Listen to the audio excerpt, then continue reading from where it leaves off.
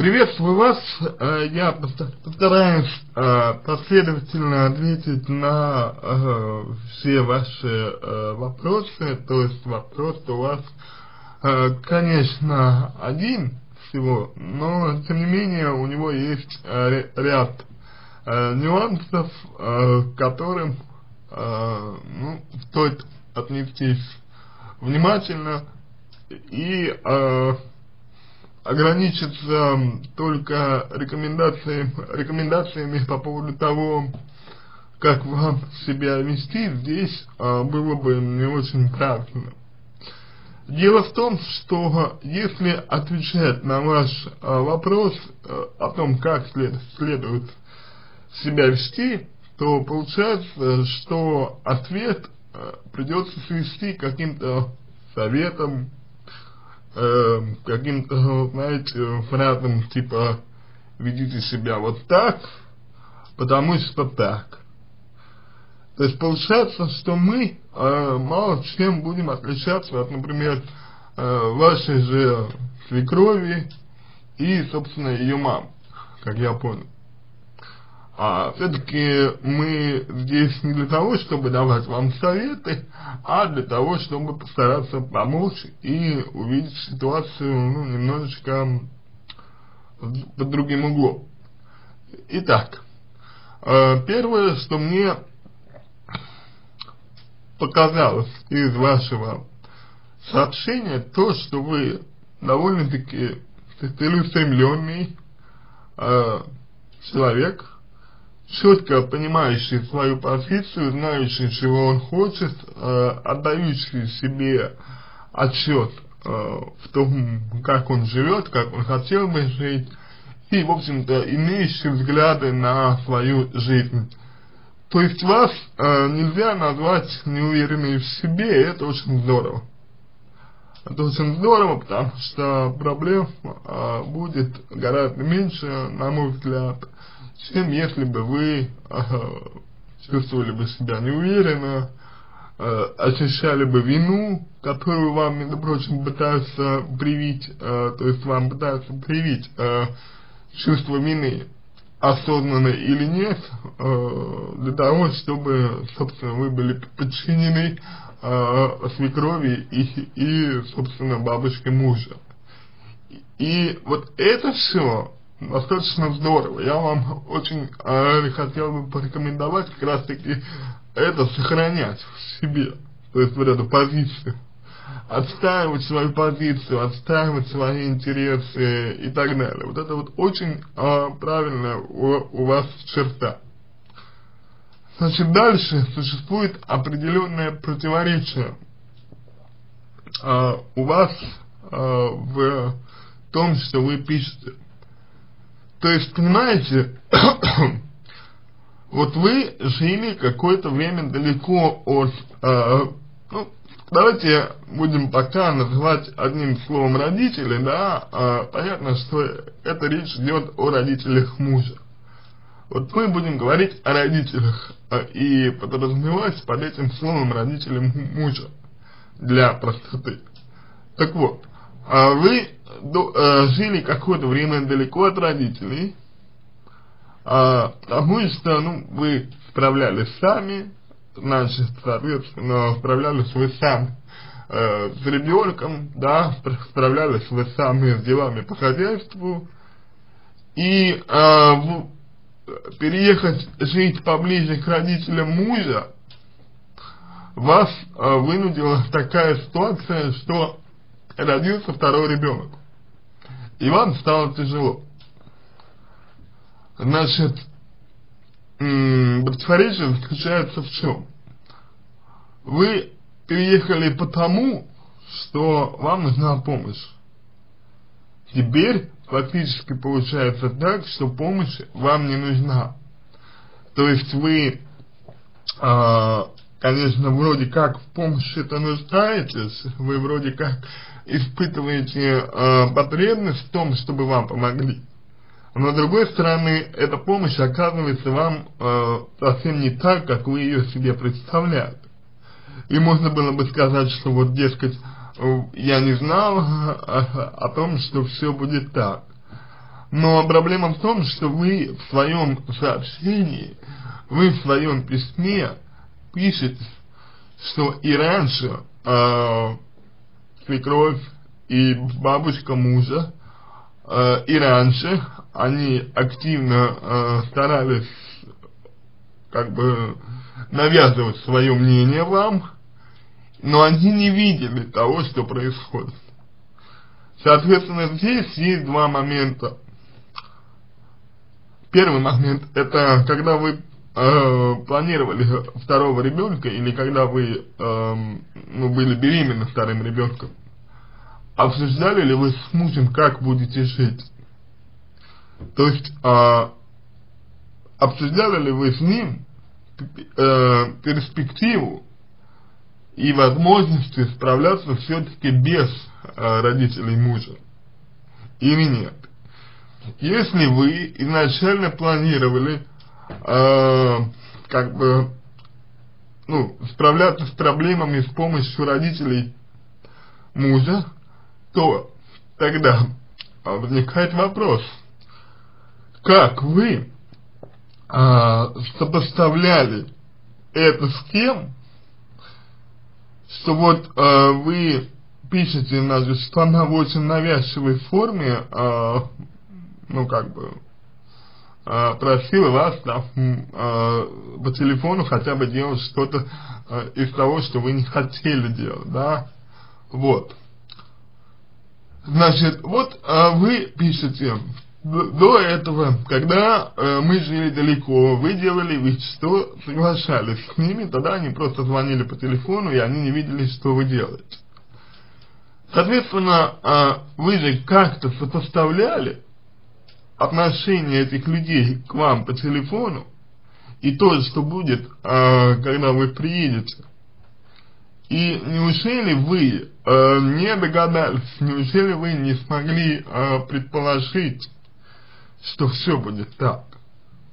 Если вы не предположили, то это ваша невнимательность э, к обстоятельству, и как бы возникает вопрос планирования, то есть насколько вы эм, обстоятельно планируете свою жизнь с мужем, насколько вы вообще э, ну, обсуждаете со своим супругом э, то, что с вами будет. То есть, имеет ли место у вас э, общие взгляды на ситуацию, э, поддерживаете ли вы друг друга, э, прислушиваетесь ли вы друг к другу или нет.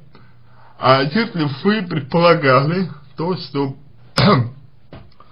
так будет, то, соответственно, наверное, вы же как-то думали о том, а, чтобы справляться с этим, чтобы как-то противостоять этому. И если вы это предполагали, то основная проблема заключается не в том, э, как ведут себя родители мужа, а основная проблема заключается в том, что муж ни с того ни с сего начал вам грубить, перестал вам помогать. То есть его родители имеют на него влияние. И это тоже несколько странно, потому что а, вы пишете о том, что у свекрови сложные отношения со своим мужем и сложные отношения со своим сыном, несмотря на то, что он, он а, ее единственный сын. И а, когда это вот эти вот сложные отношения, то есть то, что вы говорите, что они не близкие люди, ваш муж и свекровь, не близкие люди между собой, а, как бы исключает тот факт, что она, свекровь, на него влияет. И это значит, что, по всей видимости, муж стал вести себя а, грубо. Не потому, что на него влияли, начали влиять а, его родители, а потому что он, вероятно, ощутил, что вы а, вместе с его родными находитесь, и как бы а, ну, больше, что ли, может быть, в его власти или как-то, да, понимаете, то есть проблема здесь, мне кажется, а, в том, что мужчина поменял свою позицию, и а, вам бы нужно у него спросить, то есть вот почему раньше он вам помогал, а теперь он вам не помогает. И если он будет вам говорить о том, что для этого есть его родители, то, простите, вам можно резонно ему возразить, что живете-то вы с ним, а не с родителями. И он, отец своего, э, ну, своих детей, да, э, а не родители, которые тоже являются родственниками, безусловно, но муж это непосредственный отец. И что изменилось в его позиции? Вот об этом с мужем вам нужно поговорить. Кроме того, э, грубость это э, следствие снижения уважения к вам, мужчина. То есть со стороны мужчины уважение к вам теперь меньше. Возникает вопрос, почему? А откуда произошло, откуда начало а, браться вот это вот обесценивание вас? Как мне показалось, а, что спровоцировало это не ваше поведение. То есть вы вроде бы ведете себя так, как нужно вести, правильно, и на редкость правильно. Значит, проблема не в вас, проблема в мужчине. Он как-то стал по-другому вас воспринимать. И в первую очередь, прежде чем а, говорить про то, как противостоять а, родителям мужа, а, давайте все-таки а, мы проясним отношения с вашим мужем. Понимаете? А, можно просто вот, знаете, а, например, детей оставить а, с бабушками, да, ну, я имею в виду а, как-то а, для, ваших, для ваших дочерей, значит, а, мама мужа это бабушка, а Бабушка мужа это прабабушка, значит, а, бабушка и прабабушка выставляют детей, а сами с мужем э, выезжаете куда-нибудь, э, в какое-нибудь место, э, где вы могли бы побыть только вдвоем, и там проясняете свои отношения. То есть вы э, пытаетесь с ним поговорить и выяснить, почему он так себя стал вести, чем обусловлено его поведение, то есть как-то вот по душам так поговорить, потому что, понимаете, э, определенно у вас изменились социальные роли э, с переездом к родителям э, мужа. То есть муж теперь в большей э, степени это еще и сын, и внук. А муж теперь это, по большому счету, в большей степени ваш муж. А вы э, перестали быть только женой и матерью. Теперь вы еще и э, имеете отношения с его родителями. Э, я не очень э, силен в названиях э, родных, э, поэтому прошу меня простить, э, если э, как-то вот не очень складно, э, не очень понятно здесь говорю, но надеюсь, основную мысль вы уяснили для себя, да, то есть вы э, перестали быть только женой для своего мужа и перестали быть только матерью, Ва ваши э, социальные роли стали э, более многочисленными, и это, возможно, заставило вашего мужа увидеть вас с другой стороны, а с другой стороны, которая ему не понравилась, или которая по какой-то причине затмила э, то, как он воспринимал, как видел вас раньше, и из-за этого, собственно, его отношение к вам и поменялось. И вот этот момент нужно урегулировать. То есть вам нужно своему мужу показаться вновь только э, его женой и матерью его детей же. А чтобы вот эти вот другие роли, которые вы э, играете, условно говоря, с его родителями, они чтобы отошли на второй план. Но для этого нужен соответствующий диалог. Вы можете детей взять, если угодно, и все вместе, только вы, дети и муж, куда-то выехать ненадолго, там буквально на 2-3 дня, чтобы побыть без родителей, чтобы вспомнить вот это вот то время, когда вы жили без них. И чтобы вы все-таки стали единым целым опять вновь. Потому что без мужа у вас э, мало шансов на то, чтобы, э, как бы это сказать, счастливо положительно и без потери для себя и ваших детей эту ситуацию разрешить. Нужна поддержка вашего мужа. если вы будете бороться условно и против его родителей, и против э, своего мужа, то будет вам тяжело, и уж точно здесь э, вопрос о сохранении семьи вообще будет э, стоять очень остро. Несмотря на то, что вы об этом не говорите прямо, но тем не менее эта проблема будет. Итак, э, предположим, что вот этот момент мы с вами рассмотрели. Вопрос взаимоотношений с мужем. Для чего он нужен? Для чего, э, для чего я обратил на него ваше внимание. Потому что вам с мужем нужно вместе выработать э, стратегию по э, поведению с вашими, э, ну, с, с родителями, да, с вашими родителями. То есть, условно говоря, родители здесь, здесь выступают своего рода э, таковыми и для мужа, и для вас понимаете, единая позиция, чтобы вы э, с мужем как бы поддерживали друг друга против э, родителей. Ну, даже не, не против, а в отстаивании позиции, чтобы, чтобы вы не были одна. Значит, какая это позиция? Это позиция по, значит, во-первых, по пониманию, по очерчиванию потребностей вашего мужа. То есть его грубость – это э, следствие неудовлетворения каких-то потребностей, неудовлетворения каких-то желаний. Это первый момент. Момент, э, значит, удовлетворения потребностей. Второй момент – это установка границ. То есть, что конкретно э, родители мужа могут делать, что они делать не, не могут. То есть вы решаете это с мужем, э, так, чтобы учитывались ваши интересы, его интересы, интересы ваших детей и в последнюю очередь интересы родителей. Потому что родители здесь выступают как бы инсайдерами то есть они приходят а, извне, да, и пытаются наводить а, свои порядки у вас в семье. То есть вы к ним, а, не лезете, да, а они к вам лезут. Значит, поэтому их интересы учитываются в самую последнюю очередь как э, интересы менее заинтересованных лиц.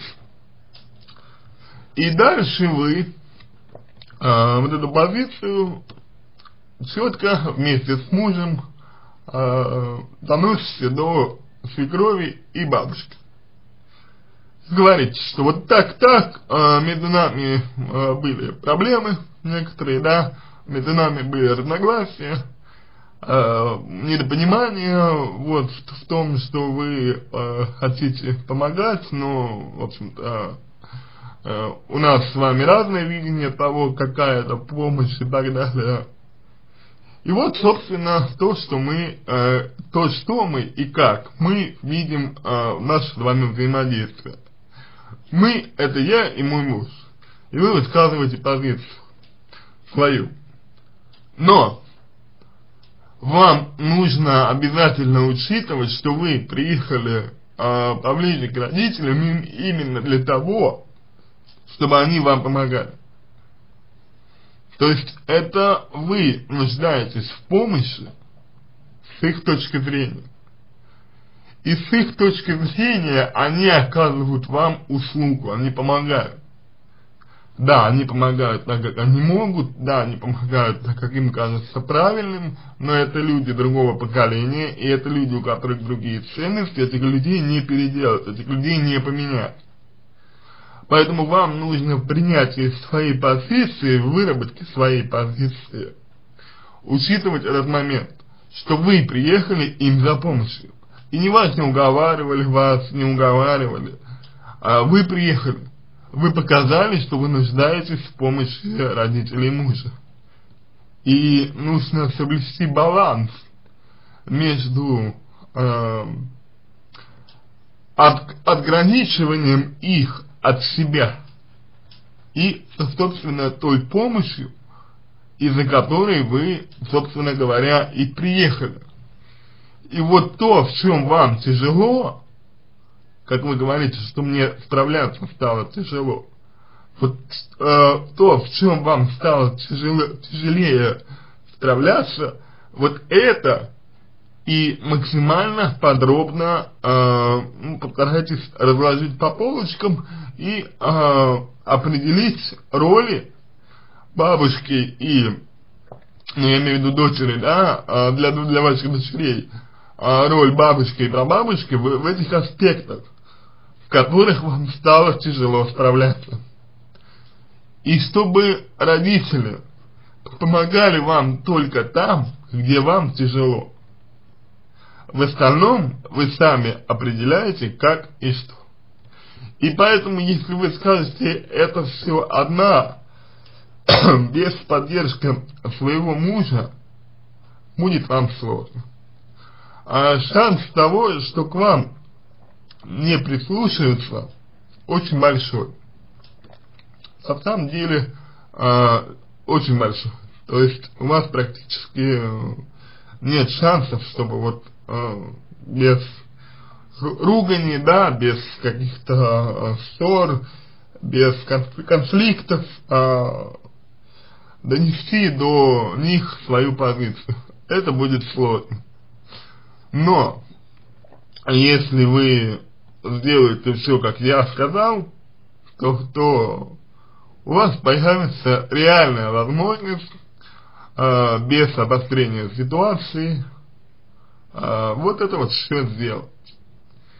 И тогда останется вам э, только лишь следовать своей позиции. Вместе со своим мужем вы будете отстаивать ее тем самым раз за разом показывая родителям, что им вот дальше определенных позиций э, нет хода. Дальше только ваша ответственность, ваша прерогатива и все, не более того. Предположим, э, что значит, это вы сделали, и предположим, что родители безусловно, сразу это не восприняли, да, то есть они там будут соглашаться с вами, может быть, особенно если вы с мужем это вдвоем скажете, если вы скажете, что так лучше для детей, там все дела, немножечко можно сгустить краски, слукавить чуть-чуть, что это, в принципе, вполне допустимо. Вот. Сразу они это не воспримут, потому что им будет тяжело, они э, в их ценности не укладывается то, что вы э, говорите, то, что вы делаете. По их мнению, э, и, э, их э, точка зрения самая верная, и вам это нужно принять. Да, дальше. Теперь предположим, что э, с, мужем вас э, договориться не получится. И тогда вы остаетесь одна она, э, ну, собственно, э, против, да, услов, условно назовем это так, э, против родственников мужа и, наверное, даже против него самого уже в таком случае. Здесь вам, опять-таки, э, что нужно сделать? Вам здесь нужно в первую очередь э, вот понять, что э, от того, что вы как-то что-то будете говорить своему э, мужу, э, обвинять его родителей или самих родителей пытаться переделать, э, мало что вообще изменится. Вам нужно просто понять будет, что э, кроме вас, ваши интересы и интересы ваших детей никто не защитит. И если этого не хочет делать муж, то вы будете делать это сами. Как? Ну, во-первых, э, терпеть грубость мужа не нужно, и если он не хочет э, идти на встречу вам, то, соответственно, вы говорите ему о том, что вы сомневаетесь в целесообразности дальнейшего существования, дальнейшего пребывания, и, собственно, э, будете думать о том, чтобы там, не знаю, пожить отдельно, да, отдельно, да, или э, как-то еще. То есть, мужа нужно показать, что текущее положение вещей вас не устраивает, и вы в принципе не будете это терпеть.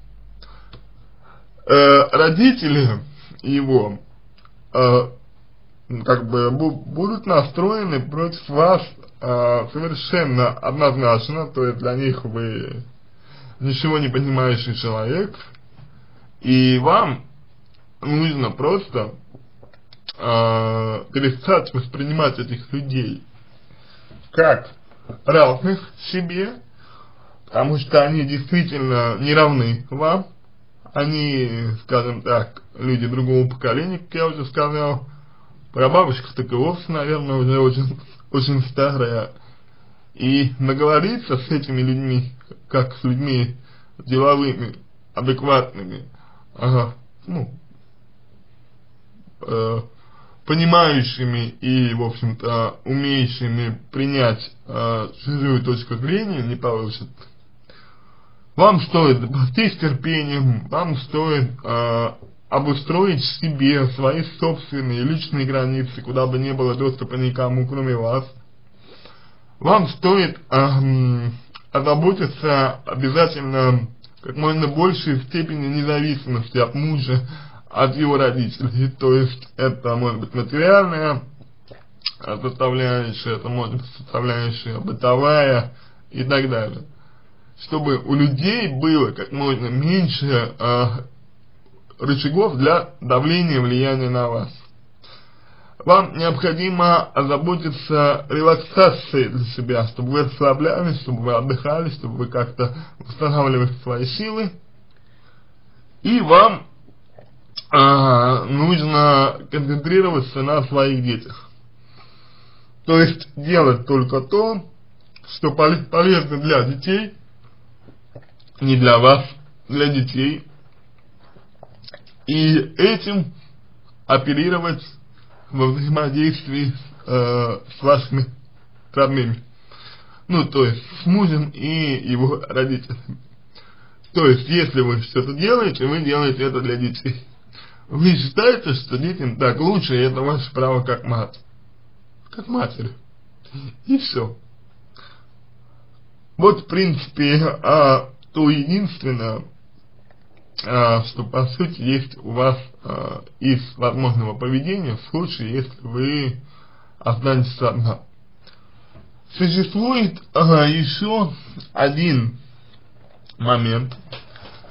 Это момент а, занять свекровь и бабушку мужа, э, занять их какими-то интересами, э, какими-то увлечениями, их обеспечить, чтобы у них было меньше времени э, на то, чтобы докучать вам, но здесь, опять же, без э, вашего мужа будет сложно что-либо сделать.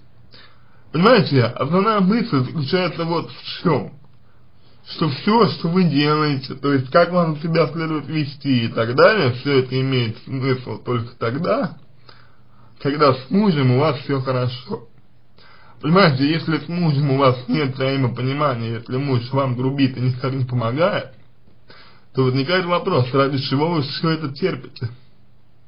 Возникает вопрос, ради чего вы все, все вот это вот стараетесь выдержать, ради чего вы стар, э, стремитесь Э, как-то наладить свое поведение, да, если с мужем у вас нету э, как бы движения навстречу друг другу. Получается, вы только для себя и для своих детей пытаетесь ужиться с родителями вашего мужа.